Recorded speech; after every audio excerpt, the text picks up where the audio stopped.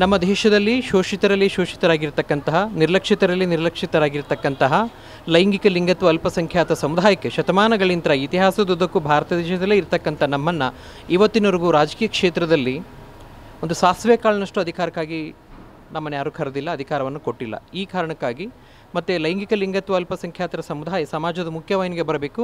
ಅವ್ರ ಸಮಸ್ಯೆಗಳು ಬಗೆಹರಿಬೇಕಂತ ಹೇಳಿದರೆ, ಅವರ ಅಭಿವೃದ್ಧಿ ಕಲ್ಯಾಣಗಳಾಗಬೇಕಂತ ಹೇಳಿದರೆ ಅವರ ಪರವಾಗಿ ಇರತಕ್ಕಂಥ, ಅವರ, ಅವರದೇ ಸಮುದಾಯವನ್ನು ಪ್ರತಿನಿಧಿಸತಕ್ಕಂತಹ ರಾಜಕಾರಣಿಗಳು ಹುಟ್ಟಾಕಬೇಕನ್ನೋ ಕಾರಣದಿಂದ ಮತ್ತು ರಾಜ್ಯಾಂಗದಲ್ಲಿ ಲೈಂಗಿಕ ಲಿಂಗತ್ವ ಅಲ್ಪಸಂಖ್ಯಾತರ ಪ್ರಾತಿನಿಧ್ಯ ಬೇಕು ಅನ್ನೋ ಕಾರಣಕ್ಕೆ ಸುಮಾರು ಮೂವತ್ತು ಜಿಲ್ಲೆಗಳಿಂದ ಎಲ್ಲ ಜಿಲ್ಲಾ ಮಟ್ಟದ ಸಂಘಟನೆಗಳಿಗೆ ಸೇರಿಕೊಂಡು ರಾಷ್ಟ್ರೀಯ ಲೈಂಗಿಕ ಲಿಂಗತ್ವ ಅಲ್ಪಸಂಖ್ಯಾತರ ಒಕ್ಕೂಟವನ್ನು ನಿರ್ಮಾಣ ಮಾಡಿಕೊಂಡು, ಈ ಒಕ್ಕೂಟದ ಮುಖಾಂತರ ಲೈಂಗಿಕ ಲಿಂಗತ್ವ ಅಲ್ಪಸಂಖ್ಯಾತ ಸಮುದಾಯಕ್ಕೆ ರಾಜ್ಯದಲ್ಲಿ, ರಾಷ್ಟ್ರ ಮಟ್ಟದಲ್ಲಿ ರಾಜಕೀಯ ಪ್ರಾತಿನಿಧ್ಯದ ಹಕ್ಕೊತ್ತಾಯದ ಸಭೆಗಳನ್ನು ಇವತ್ತು ನಾವು ಬೆಂಗಳೂರಿನ ಮಹಾನಗರದಲ್ಲಿ ಮಾಡ್ತಾ ಇದ್ದೇವೆ. ಬಹುಶಃ ಇಲ್ಲಿವರೆಗೂ ಸರ್ಕಾರ ನಮ್ಮನ್ನು ಕೇವಲ ಸೆಕ್ಸ್ ವರ್ಕರ್ಗಳನ್ನಾಗಿ ಮತ್ತು ಭಿಕ್ಷೆ ಬೇಡವರನ್ನಾಗಿ ಮಾತ್ರ ಈ- ಆಳುವ ವ್ಯವಸ್ಥೆಗಳು ಇಲ್ಲಿಯ ತನಕ ಬಹುಶಃ ಗಮನಿಸ್ಕೊಂಡು ಬಂದಿರಬೇಕು.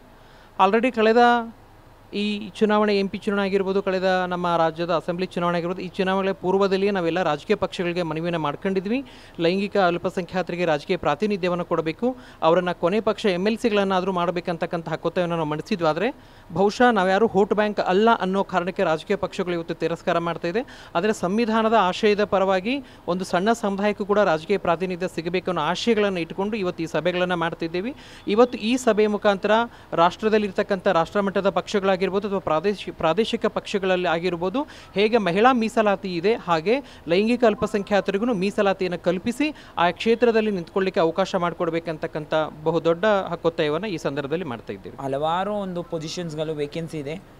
ನಮ್ಮ ಸಮುದಾಯದವ್ರಿಗೂ ನಾವು ಆ್ಯಕ್ಚುಲಿ ಬಂದ್ಬಿಟ್ಟು ಎಲ್ಲ ಪಾರ್ಟೀಸಿಂದನೂ ನಾವು ಒಂದು ವೆಯ್ಟ್ ಮಾಡ್ತಾ ಇದ್ವಿ. ನಮ್ಮ ಸಮುದಾಯದವ್ರಿಗೂ ಬಂದು ರೆಪ್ರೆಸೆಂಟೇಷನ್ ಸಿಗುತ್ತೆ ಅಂತ ರಾಜ್ಯಸಭಾ ಇರಲಿ, ಲೋಕಸಭಾ ಇರಲಿ, ಮತ್ತು ಅಸೆಂಬ್ಲಿ ಎಲೆಕ್ಷನ್ಸಲ್ಲೂ ನಮ್ಮ ಸಮುದಾಯದವ್ರಿಗೆ ಒಂದು ಅವಕಾಶ ಕೊಡ್ತಾರಂತ ನಾವು ಅನ್ಸ್ಕೊಂಡಿದ್ವಿ.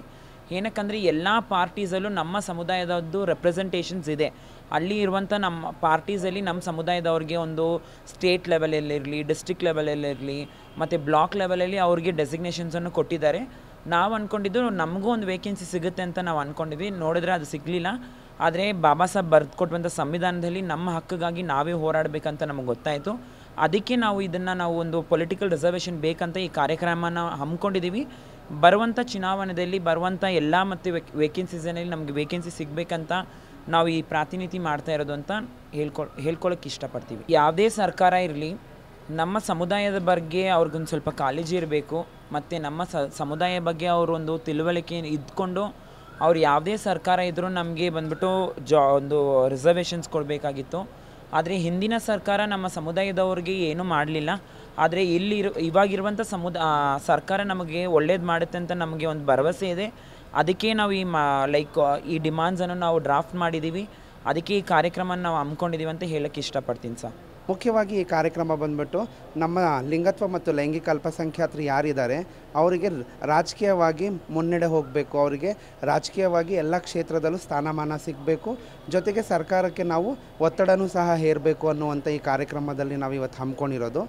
ನಾಲ್ಕು ಚರ್ಚಾಗೋಷ್ಠಿಲಿ ನಾವು ನಾವು ಮೊದಲನೇ ಚರ್ಚಾಗೋಷ್ಠಿ ಬಂದ್ಬಿಟ್ಟು ಯಾರೆಲ್ಲ ಸಾಮಾಜಿಕ ಹೋರಾಟಗಾರರಿದ್ದಾರೆ, ಚಳವಳಿಗಳಲ್ಲಿದ್ದಾರೆ, ಅಂಥವರಿಗೆ ಕರೆದು ಅವರ ಅಭಿಪ್ರಾಯಗಳನ್ನು ತಗೊಳ್ತಾ ಇದ್ದೀವಿ. ನಮ್ಮ ಸಮುದಾಯದವರಿಗೆ ಈಗಿನ ಪರಿಸ್ಥಿತಿನಲ್ಲಿ ರಾಜಕೀಯವಾಗಿ ಹೇಗೆ ಮುನ್ನ ಹೋಗಬೇಕು ಅಂತ. ಎರಡನೇ ಚರ್ಚಾಗೋಷ್ಠಿನ ನಾವು ಎಲ್ಲ ಪಕ್ಷದ ನಾಯಕರು, ಅದು ಕಾಂಗ್ರೆಸ್ ಆಗಿರಬಹುದು B J P B S P C P M I ಮತ್ತು ಜೆ ಡಿ ಎಸ್ ಪಕ್ಷದ ಎಲ್ಲ ಪಕ್ಷದ ಅಭಿಪ್ರಾಯಗಳನ್ನು ತಗೊಳ್ತಾ ಇದ್ದೀವಿ. ನಮ್ಮ ಸಮುದಾಯದವರಿಗೆ ಹೇಗೆ ರಾಜಕೀಯವಾಗಿ ಮುನ್ನಡೆಯಬೇಕು ಅನ್ನುವಂಥದ್ದು. ತದನಂತರ ಮೂರನೇ ಚರ್ಚಾಗೋಷ್ಠಿಯಲ್ಲಿ ನಮ್ಮ ಸಮುದಾಯದವರು ಸಾಕಷ್ಟು ಜನ ಬೇರೆ ಬೇರೆ ಗ್ರಾಮ ಪಂಚಾಯತ್ ಆಗಿರ್ಬೋದು, ನಗರಸಭೆ ಆಗಿರ್ಬೋದು, ಎಂ ಎಲ್ ಎಗಳ ಎಲೆಕ್ಷನ್ಸ್ಗಳಾಗಿರ್ಬೋದು. ಕೆಲವೊಬ್ಬರು ಕಂಟೆಸ್ಟ್ ಮಾಡಿ ವಿನ್ ಆಗಿದ್ದಾರೆ ಕೆಲವೊಬ್ಬರು ಡಿಫಿಟೆಡ್ ಆಗಿದ್ದಾರೆ. ಅವರಿಗೂ ಕರೆದು ಅವ್ರ ಅಭಿಪ್ರಾಯನೂ ಸಹ ಸಂಗ್ರಹ ಮಾಡ್ತಾ ಇದ್ದೀವಿ. ನಾಲ್ಕನೇ ಚರ್ಚಾಗೋಷ್ಠಿನಲ್ಲಿ ಯಾರು ನಮ್ಮ ಲಿಂಗತ್ವ ಅಲ್ಪಸಂಖ್ಯಾತರ ಸಂಘಟನೆಯಲ್ಲಿ ಕೆಲಸ ಮಾಡೋ ಆ್ಯಕ್ಟಿವಿಸ್ಟ್ ಇದ್ದಾರೆ. ಅವರ ಅಭಿಪ್ರಾಯನ ತೆಗೆದುಕೊಂಡು ನಾವೊಂದು ಮೆಮೊರೆಂಡಮನ್ನು ಮಾಡಿಕೊಂಡು ಸರ್ಕಾರಕ್ಕೆ ಸಲ್ಲಿಸ್ಬೇಕಂತ ಇದ್ದೀವಿ ನಮ್ಮ ಒಕ್ಕೂಟದಿಂದ. ಈ ಈಗಿರೋ ಸರ್ಕಾರ ತುಂಬ ಸಪೋರ್ಟಿವ್ ಆಗಿದೆ. ಹಾಗೂ ಜೊತೆಗೆ ಸಮುದಾಯ ಪರವಾಗಿರೋದ್ರಿಂದ ನಾವು ನಮ್ಮ ಸಮುದಾಯ ಪರವಾಗಿ ರಿಸರ್ವೇಷನ್ಸ್ ಬೇಕು ಪೊಲಿಟಿಕಲಿ ಅನ್ನುವಂಥದ್ದು ಒತ್ತಡ ಹೇಳೋಕ್ಕೆ ಇವತ್ತು ಈ ಒಂದು ಕಾರ್ಯಕ್ರಮನ ಹಮ್ಮಿಕೊಂಡಿದ್ದೀವಿ. ಇವತ್ತು ನಾವು ಇಲ್ಲಿ ಚರ್ಚೆ ಮಾಡೋ ವಿಷಯ ಬಂದು ಎಲ್ ಜಿ ಬಿ ಟಿ ಕಮ್ಯುನಿಟಿಗೆ ಯಾವ ಥರ ಪೊಲಿಟಿಕ್ಸಲ್ಲಿ ನಮಗೆ ಅವಕಾಶ ಸಿಗ್ತಾ, ಎಷ್ಟು ಮಟ್ಟಿಗೆ ನಮಗೆ ಸಿಗ್ತಾ ಇದೆ, ಈಗ ನಮಗೆ ಸಿಕ್ಕಿರೋ ಅವಕಾಶಗಳು ನಮ್ಗೆ ಸಾಕಾಗುತ್ತಾ ಆ ಒಂದು ವಿಷಯ ಬಗ್ಗೆ ಮಾತಾಡ್ತಾ ಇದ್ದೀವಿ. ನಾವು ಬೇರೆ ಟ್ರಾನ್ಸ್ಜೆಂಡರ್ ಕಮ್ಯುನಿಟಿ ಅಂತ ಮಾತ್ರ ಫೋಕಸ್ ಮಾಡ್ತಾ ಇಲ್ಲ.